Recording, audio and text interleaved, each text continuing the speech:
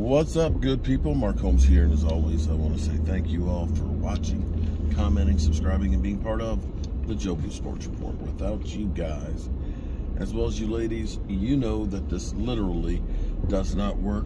Hope you guys are having a great Monday. Hope it's a move on Monday because we're moving on from that loss that we can't do jack shit about and getting ready for the Philadelphia Eagles on Christmas Eve.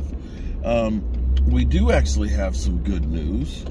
Um, Layton Vander Esch, when we saw the hit that he took, um, knowing that he's had neck issues and hearing that he had a neck uh, injury, um, you'd start thinking, is this it for Layton Vander Esch um, as far as his career goes? Um, Stephen Jones is actually reporting to, or saying on 105.3 The Fan a few minutes ago that Layton Vander Esch's uh, injury is a shoulder stinger. It's the shoulder.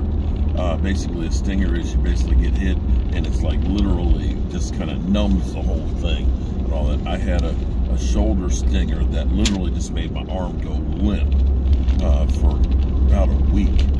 Um, so that's actually good news that it is not a neck injury uh, because he has had several neck injury issues to deal with.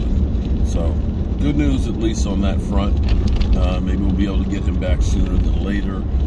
But uh, at this point, um, with what's left to the regular season, the regular season we're pretty much locked in at the number five spot. I mean, unless the Eagles implode, and I have to give the Eagles credit because the Eagles have played well and have been consistent throughout the season. I don't expect that to happen.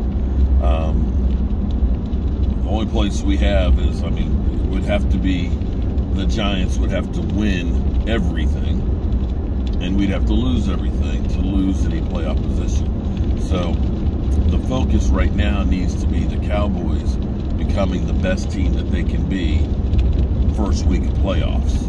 And that's getting healthy, getting an attitude, and finding a winning formula. All right, peace.